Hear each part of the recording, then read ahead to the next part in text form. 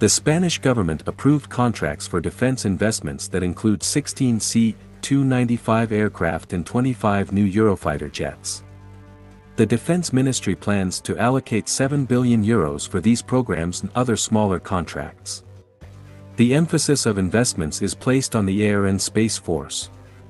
The contract for 16 C-295 aircraft was approved, of which 6 are intended for maritime patrol and 10 for maritime surveillance.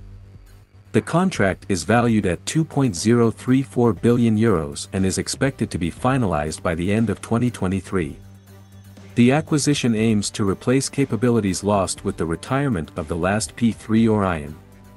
A separate program involves the acquisition of 25 new Eurofighter jets to replace some F-18s at the Torrejon and Zaragoza bases. The program is estimated at 4.593 billion euros. This cost also includes provisions for the 20 Eurofighter Halcon I jets previously acquired.